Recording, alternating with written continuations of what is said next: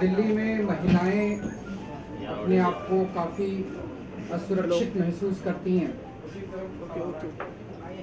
नीचे बैठ जाओ स्टील नीचे कर लो भाई स्टील महिलाओं की सुरक्षा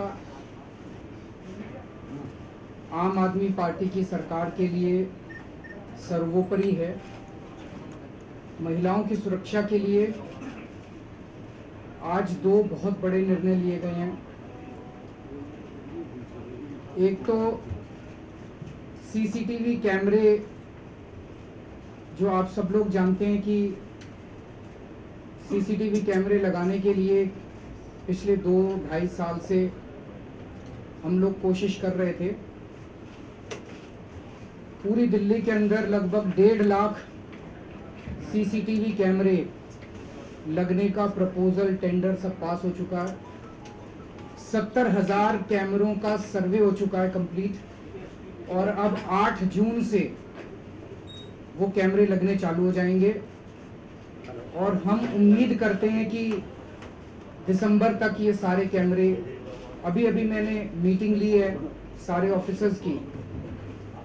इसके अलावा एक लाख चालीस हज़ार और कैमरे लगने का भी प्रपोजल इसी महीने पास हो जाएगा। तो लगभग दो लाख अस्सी हज़ार टोटल कैमरे, सीसीटीवी कैमरे पूरी दिल्ली के अंदर लगाए जाएँगे, जिनके लगने का काम 8 जून से चालू हो जाएगा। स्कूलों के अंदर अलग से कैमरे लग रहे हैं, डेढ़ लाख कैमरे। सारे सरकारी स्कूलों के अंदर कैमरे लगना शुरू हो चुका है और नवंबर तक सारे कैमरे लगकर तैयार हो जाएँगे, दिल्ली के सारे सरकारी स्कूलों के अंदर। इसके अलावा महिलाओं की सुरक्षा को ध्यान में रखते हुए एक आम आदमी के घर से जब एक उसकी बेटी या उसकी पत्नी या बहन घर से बाहर निकलती है सुबह नौकरी के लिए या नीचे बैठ जाओ यार। कॉलेज के लिए स्कूल के लिए। तो एक परिवार के लोगों का दिल धक धक करता रहता है कि पता नहीं सही सलामत वापस लौटेगी कि नहीं लौटेगी। पब्लिक ट्रांसपोर्ट महिलाओं के लिए सबसे सुरक्षित माना गया है।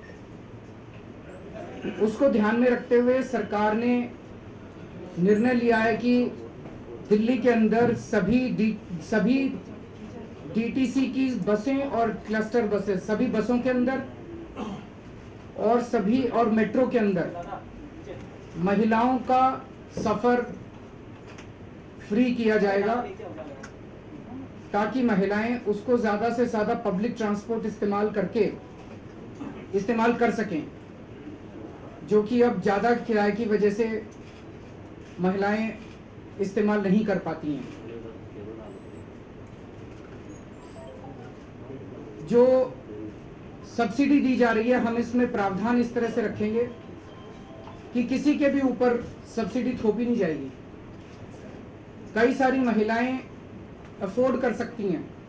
जो अफोर्ड कर सकती हैं, वो अपना टिकट खरीद के सब्सिडी उनको लेने की ज़रूरत नहीं है। बस में भी टिकट खरीद सकती हैं, मेट्रो पे भी टिकट खरीद सकती हैं। और हम ज़्यादा से ज़्यादा उनको इनकरेज करेंगे जो जो अफोर्ड कर सकते हैं, वो सब्सिडी का इस्तेमाल ना करें, ताकि और दूसरे लोगों को इसका फ़ायदा मिल सके। ऑफिसर्स को मैंने एक हफ़्ते का टाइम दिया है। एक हफ़्ते के अंदर वो डिटेल्ड प्रपोजल बना के लाएँगे। दोनों डीटीसी भी और मेट्रो भी। कि इसको कैसे लागू किया जा सकेगा और कब से लागू किया जा सकेगा। हम कोशिश करेंगे कि दो से तीन महीने के अंदर इसको लागू किया जा सके। लेकिन आज हम जनता से उनके सुझाव भी मांगना चाहते हैं कि इसको लागू कैसे किया जाए। इसके ऊपर जनता के सुझाव चाहते हैं। एक ईमेल आईडी अभी मैं दे रहा हूँ Delhi women safety at Gmail dot com और एक एड्रेस है चेयरमैन डीडीसी 33 श्यामनाथ मार्ग, दिल्ली 54 तो या तो चिट्ठी लिख के या ईमेल के ज़रिए आप अपना फीडबैक दे सकते हैं।